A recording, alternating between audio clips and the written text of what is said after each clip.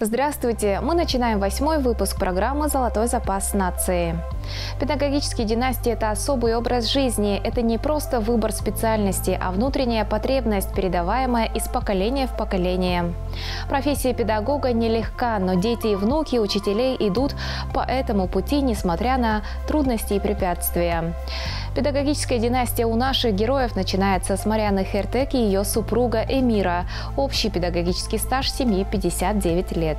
Эта необычная семья является уникальной не только потому, что у них золотые руки, и они изготавливают тувинские традиционные изделия, но и большое доброе сердце. Помимо своих четверых, в семье выросло 11 детишек из разных уголков Тувы.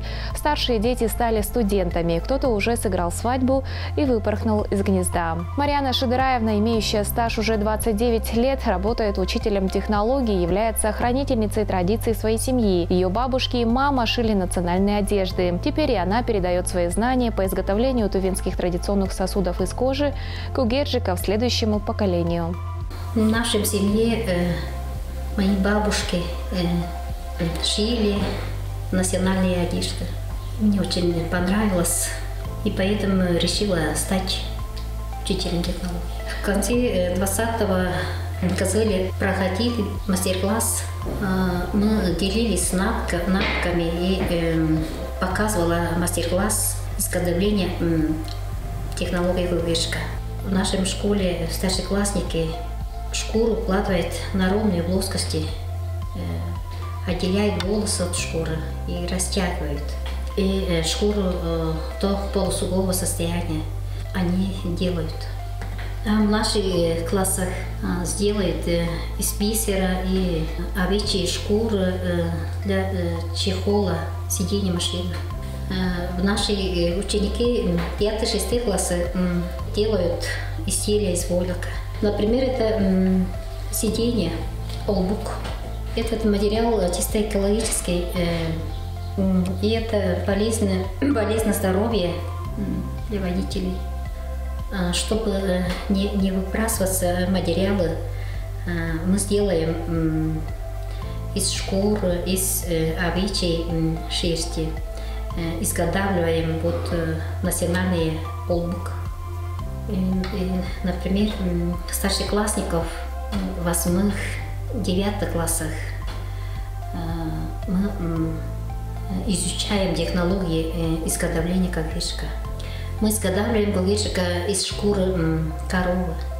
А всем учителям я советую включать э, учебные программы тувинских традициях, и чтобы мы э, сохранили э, наши традиции.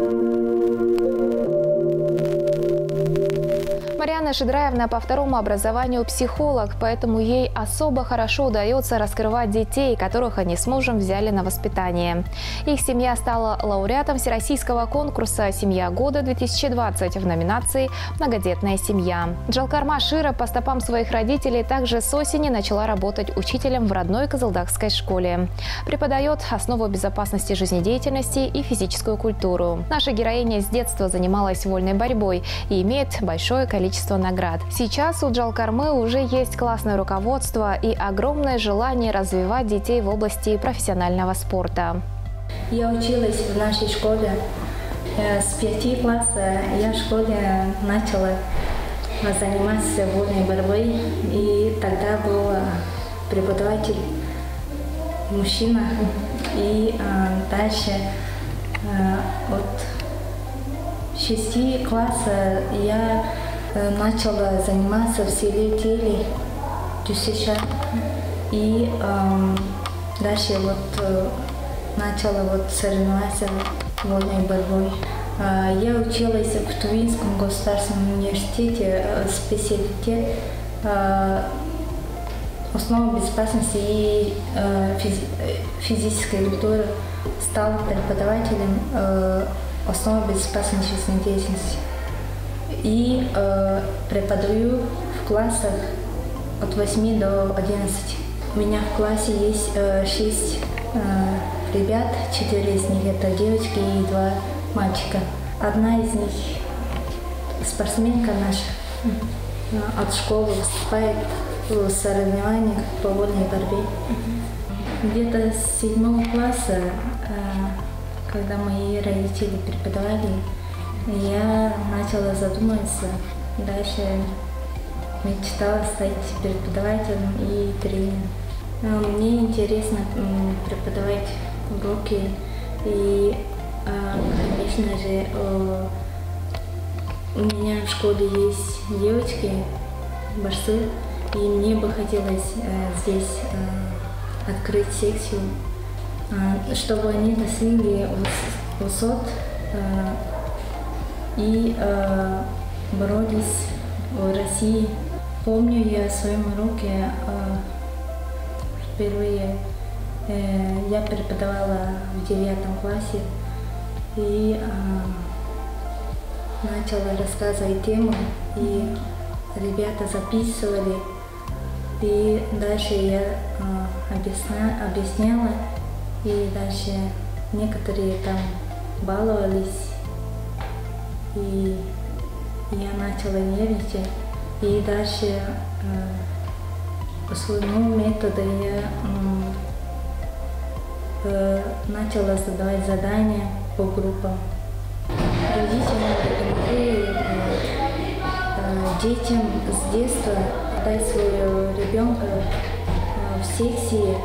По моему мнению, э, учитель э, должен быть ответственным, умение преподавать детей по своему методике.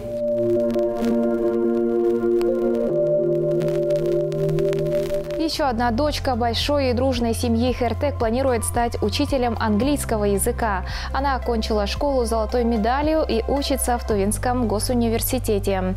В заключение хотелось бы напомнить, что Тува богата не только полезными ископаемыми, живописной природой, необыкновенной культурой, но прежде всего талантливыми людьми. Именно те, кто находит знания, сохраняет и передает их следующему поколению и создают золотой запас нации.